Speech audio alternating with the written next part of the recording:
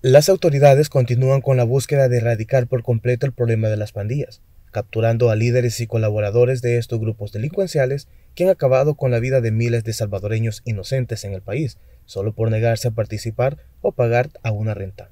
Por tanto, un miembro de grupos de pandillas fue localizado por los elementos de la Policía Nacional Civil mientras movilizaba varias porciones de droga en Nahuizalco, en el departamento de San Salvador. Según las autoridades, el sujeto responde al nombre de José Amílcar García Cruz, alias Stinger o Limbo, un miembro activo y palabrero de la clica Nahuizalcos criminales locos salvatruchos de la MS-13. Además, las autoridades le incautaron una pistola con un cargador y 83 porciones de marihuana.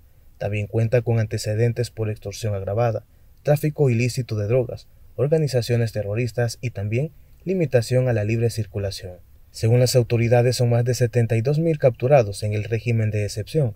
Entre ellos figuran líderes, miembros activos y colaboradores de pandillas de las diferentes bandas delincuenciales que operan en el país. Informó para ITV Noticias Samuel Barrios.